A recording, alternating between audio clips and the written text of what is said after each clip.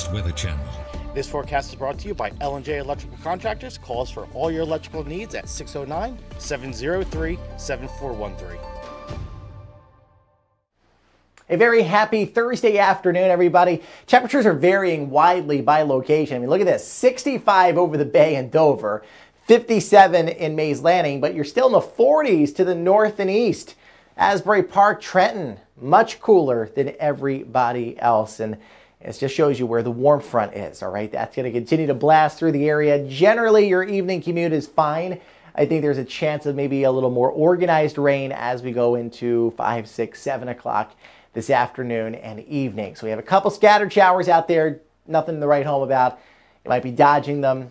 Overnight, we dry out, we clear out. I think we start tomorrow off with some sunshine. Best bet of clouds is going to be down to the south.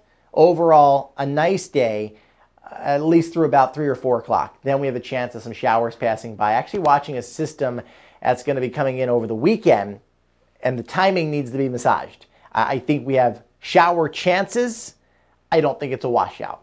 51 degrees for tonight, south to southwest winds at about oh, 15 or 20 miles an hour.